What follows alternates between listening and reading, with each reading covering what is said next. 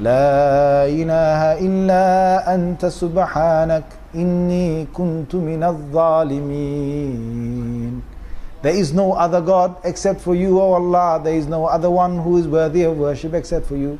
Subhanaka, you are free from every blame. You are free from every defect. You are free from anything that I have done wrong myself. You are free from anything that anyone else has attributed to yourself that is wrong.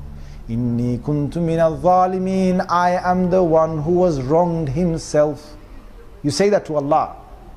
Allah says, فَاسْتَجَبْنَا لَهُ وَنَجَّيْنَاهُ مِنَ الْغَمِّ وَكَذَلِكَ نُنْجِي الْمُؤْمِنِينَ Thus, we saved Yunus from the belly of the whale, we took him out, and just like this, every believer until the day of judgment, every believer, I will help them, I will save them through this dua. كَذَلِكَ نُنْجِي الْمُؤْمِنِينَ So you say that. لا إله إلا أنت سبحانك إني كنت من الظالمين. First admit to your fault in front of the mighty one. The mighty one loves you, my friend. The mighty one loves you. Doesn't he love you? While you sin, he still feeds you.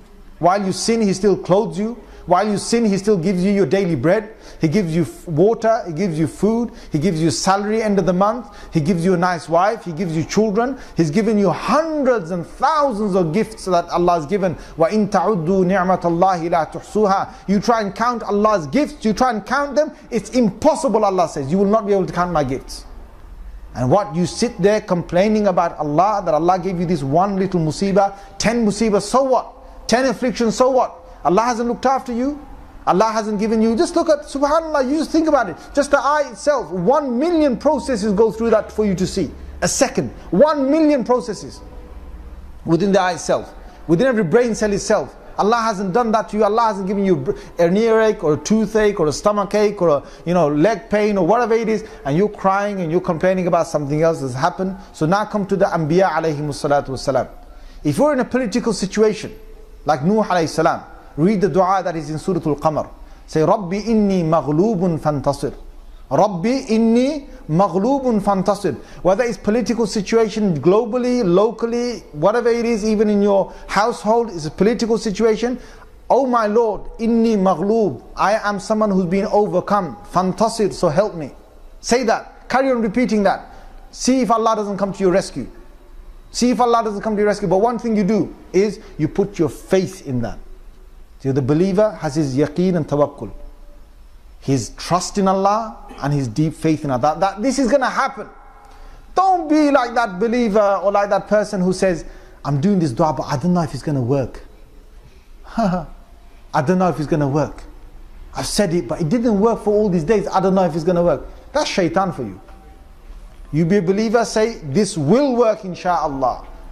I'm not doing any major sins. Why shouldn't it work? You don't do any major sins? Inshallah, bi'idhnillah, it will work. You're doing all your ta'ah, you're doing all your obedience, whatever little you can for Allah, it will work. Say, it will work. It will work. So that's what the believer needs to do. Uh, antum muqinuna bil ijaba. Rasulullah said, make dua to Allah when you have full faith that it will work. That Allah will accept it. Not that kind of heart that, you know, might not work. This is where the believer fails. If the believer says it might not work, might not work, might no, don't do that. But if you if you if some of that comes, if some of that comes, then say La ilaha illa anta. La ilaha illa anta. Oh Allah, there is no one except for you. Hasbun Allah wa ni'mal wakil. Allah suffices us and the best of dependents. That's beautiful dua for a lot of the masa'ib, a lot of the difficulties you're in. Sayyidina Rasulullah taught this, taught this to us. And the Sahaba that use that, it's in the Quran, Surah Al Imran, uh, ayah number 173, you will find it there. And Ibrahim used it in the fire. A beautiful dua.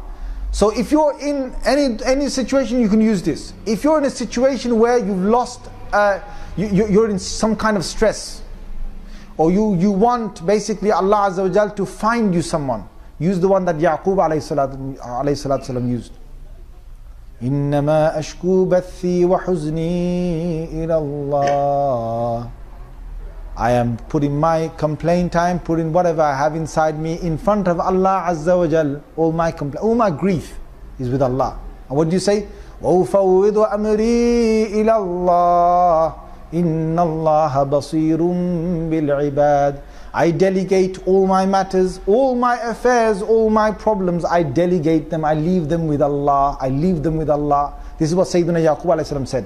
This is also a dua used by one of the believers in the time of Fir'aun. Allah recorded that in Surah Al-Mu'min, in the 40th Surah or Surah Ghafir, whichever name you want to say. وَأُفَوِّضُ أَمْرِي إِلَى اللَّهِ To Allah all my matters are delegated. Allah said in the Holy Quran what?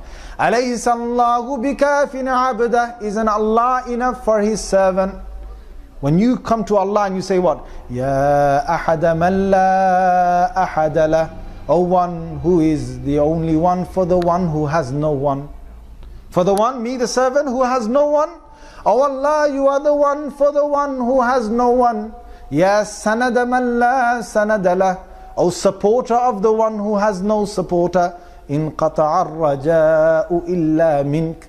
All my ties of getting help all my hopes of getting help, everything has broken off. The only one that has remained is yourself, Allah.